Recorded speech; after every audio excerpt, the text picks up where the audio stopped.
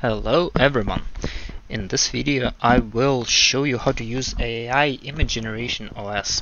This is the Notion template I've built to help you manage your um, AI image generation projects as well as your prompts for DALL-E, Midjourney, or if you have any other um, tools that accept uh, text prompts. This is where you can basically build those text prompts uh, properly. You can store it, manage it, uh, take it for later instead of um, you know just recreating your prompts every single time.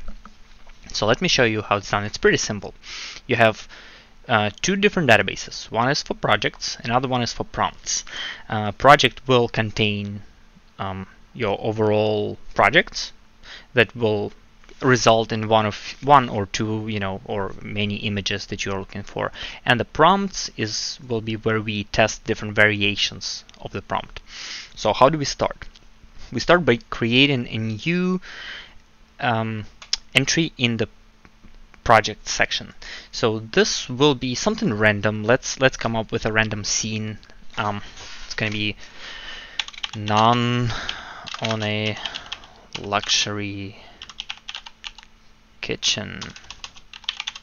I don't know.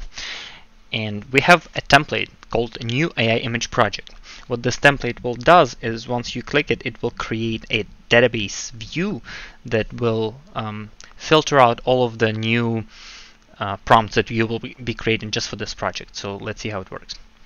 Uh, let's open this up in the full page and we'll create new AI image project. And as you can see, we have a database view and a few steps for us to follow. We'll get to them later.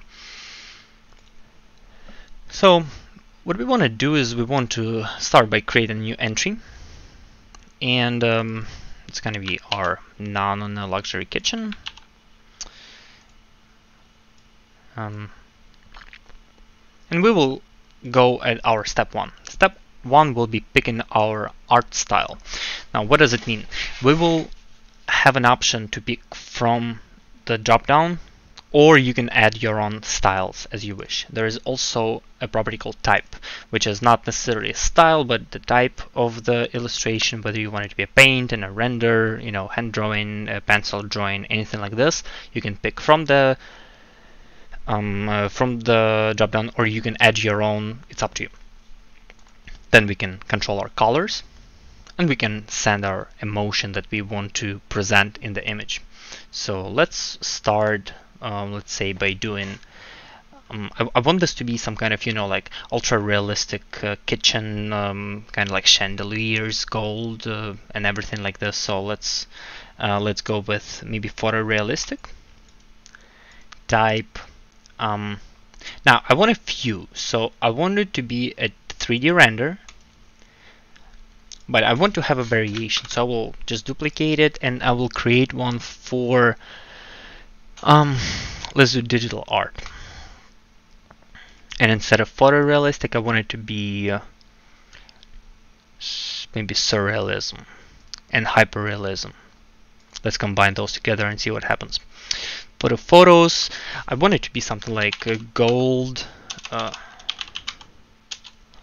and black. And let's keep this, I don't know, silver and uh, green. Uh, the emotion is going to be um, let's keep this one open and let's fill this one with something like peaceful. Um, you can uh, all, all of these are optional. You don't have to fill them in but you can. So if you do fill them in they will be included in your prompts. If you do not they will be excluded in your prompts. Um, let's go to the step two and we will describe our subject. So our subject is going to be a nun. Not going to be nun on luxury kitchen, it's just going to be our subject. That's what we're working with. It's going to be in both of the prompts and you can always modify it. You can say something like old nun. We'll do it just for the sake of the example. For the description, well, in fact, let's keep the subject simple and let's describe her here as an old and here we will describe her in robes. Uh, you can go crazy. You can uh, describe more, you know, explicitly. You can send, do something like in long, uh, white and black robes holding a cup, right? Um, and we can do the action. What, what does your subject do? Is your subject doing anything? Is he not doing anything at all? Um, we included holding a cup, so this would be something that uh, might better fit in the action. And for the um, the second one, let's just say standing, and or we can just keep it open. Uh, let's a let AI decide what it wants to do. Now let's define our scene. Where where is our scene located? So this is a luxury kitchen in both of, both of these, but um, I want to have two different lighting. I want to have uh, something like uh, natural light from the window, and I want to have candlelight in the second image. Lighting is very important. It's uh, when you can control the light, you can actually uh, change your scene drastically. You can keep the same um, prompt, but only change the light, and, and you would be amazed how many different variations and how, how many completely different scenes you will be able to pull out of the uh, out of these image generation uh, models. It's it's amazing. So uh, play around with lighting is it's um, it will change the way you uh, create these images. Now the step number four. It's parameters. It's only for Midjourney so far. I haven't found um, DALL-E parameters that would uh, that I know exist or that would satisfy me and bring in bring like you know consistent results. So I could call them my parameters, but I know with Midjourney you can set up your own and you can or and you can as well use predefined ones. So um, for the first one, let's let's have this one um, ch change an aspect ratio on this. So aspect ratio will not be square, but it will be uh, a little more vertical, 3 by 4 and I will also make this high quality which is uh, dash dash q space 2 um, and I will stylize it heavily. So I will do dash dash s for styling. And I will put something like 2500 for the second one um, I would say let's keep it open but I might add HD parameter here. Um, note that when I do dash dash, it kind of changes it to, I mean, when I do have hyphen hyphen, it changes it to dash. So um, this is not what Midjourney will accept. So you kind of have to do Control Z and change it back to just two hyphens. So once we set these, uh, we have both of our prompts ready and we can start testing them. So you go to step five and we have two uh, columns here with our final prompts.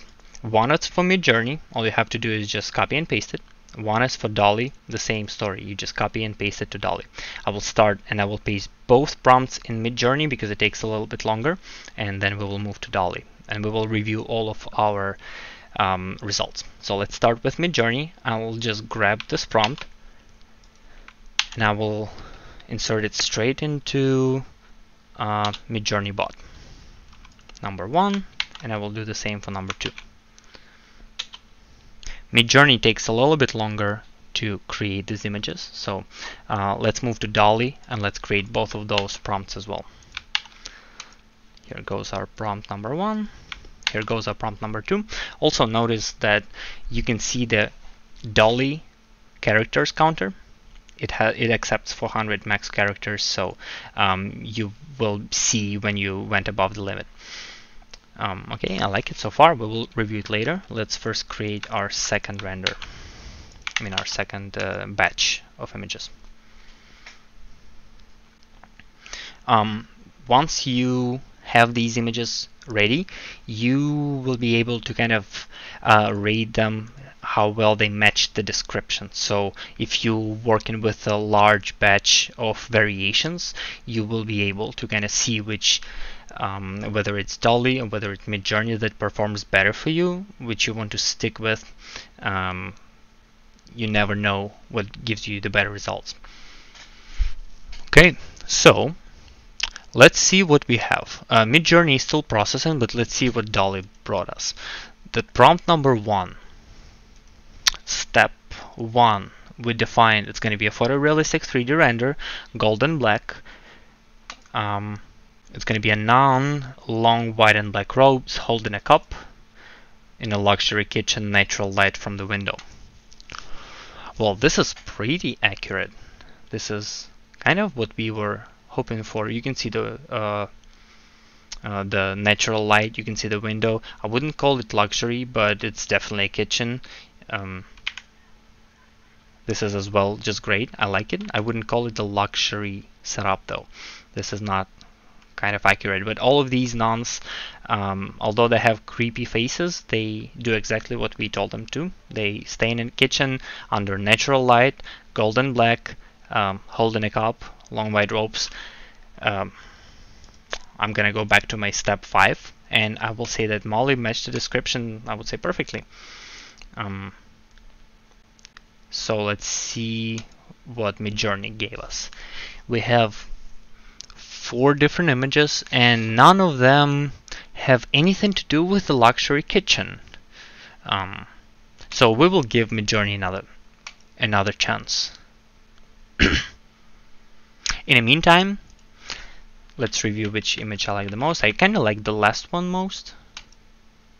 So I will pick this image and I will move it to my results in the tool.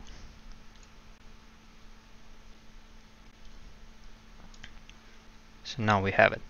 I also like moving it here to the actual page. so the second prompt that we did was a variation and that variation was surrealism, hyperrealism, digital art, silver and green, uh, old non luxury kitchen candlelight. And wow, I am beyond amazement of what I'm seeing here. This is definitely a beautiful kitchen. Uh, on the first, on the second one, this is definitely a non-shaped figure, I would say, in the third one. And I really like the scene on the fourth one. So I will upscale the image number four.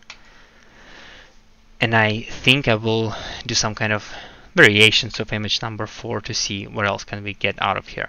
So the nun on the Midjourney wasn't really into the kitchen for some reason. He didn't really want to pick up the kitchen part on the first um, image. So let's see how DALL-E performed. It's definitely luxury kitchen, candlelight. Um, I like the lighting. You see how you can control the lighting. It's it's very it's very unique looking. It's not bright. It's um, I can't see the non anywhere other in maybe image number 4. Um, this kind of looks like a non, but I would probably give it another shot and I would regenerate and see what else we can get out of this.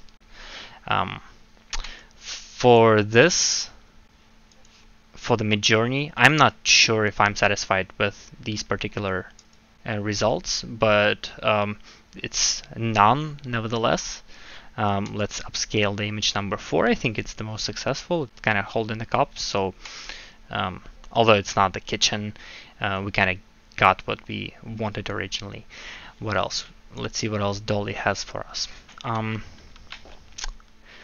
this is probably the closest we can get to a non on a kitchen. So I would say it. Um, it rather didn't match the description for the second part. And uh, I think I would pick this image if I were. And I would move it to our tool, to the second prompt. Uh, so now let's go back to the Midjourney and see see where we at. So we are at 84% upscaling our non on the luxury kitchen here. Uh, I really like how it's getting together. This is at 55 5, 59%. Ooh, beautiful. Yes, one of the one of these is definitely what I envisioned. Um, I think one of these will be the great success. This one is great, great, great as well. Um, cool. Let's just wait for it to happen. Let's just grab and save the image. Um, and let's rate it in the meantime. So for the first non holding a cup, I wasn't impressed by Midjourney was a nun. Uh, it was proper colors, uh, holding a cup. Um, no kitchen though. I wanted to see more luxury kitchen that especially Midjourney can bring with you know uh, ultra realistic details. Uh, so I would say it rather didn't match the description. And the the final result from this will be probably this nun. I would move. Um, I'll have to make sure it's on 100% first. This image is great. This is definitely something that I described, a luxury kitchen, and it created a beautiful, beautiful magical scenery of gold and black and um, uh, candlelight lighting. Um, gorgeous. This is this is a great success. So I will definitely have this image in a second prompt, and I will have this image in a first prompt.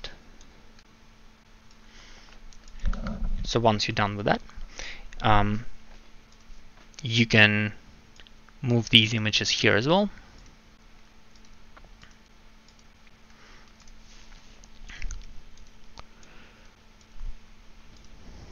And there you have it. Now you can rate your results and you know get the idea which one you favorite better. Um, I can say I would pick out of these two, but I, I really like these this scene, so I would say this is my favorite. Um, for the rating, I, this is 5 out of 5 for me, and this I would call 3 out of 5 for both. Um, DALL-E didn't really perform that well with this particular prompt. Um, it did a little bit better with the with the second one, um, but Midjourney uh, delivered awesome, fantastic result on, on this beautiful scene, and this is what I will use for the main uh, project. So here at the main project, I will move this as my final image, and I will also add it as a cover.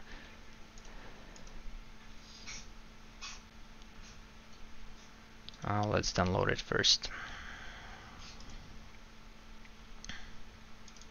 and I will add this image here as a cover so it, it shows up beautifully on our grid like this and there you have it. You completed your project and now you can go back to your overview. You can see your new project right here. You can access your prompts. You can see your all columns you know and um, let's say you want to add some kind of variation. You can always do it. You can always just duplicate one of these um, prompts and just change something. Maybe you want to change a style, or maybe you want to change a scene, maybe your colors um, didn't work. So you can keep fine tuning your image further and further until you get the results you're actually were looking for in the first place. And um, this is how you use this AI image generation OS. Uh, I hope you liked it. Uh, let me know if you have any questions in the comments, and peace.